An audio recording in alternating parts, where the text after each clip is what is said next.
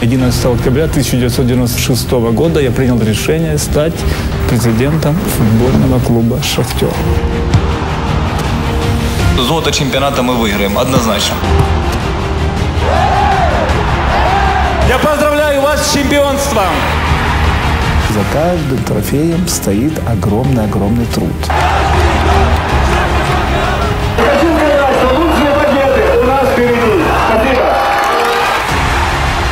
Футбольный клуб «Шахтер» живет мечтой, а это значит будущим.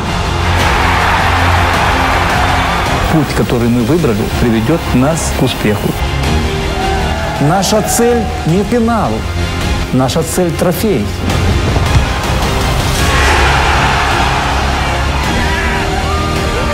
Я счастлив, что в наших руках Кубок УЕФА. Я считаю, что наши руки этот кубок заслужили.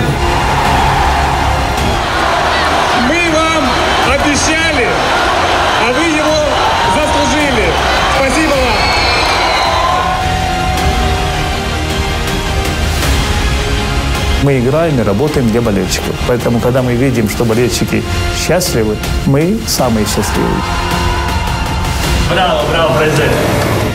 Я делал то, что, то, что я чувствую.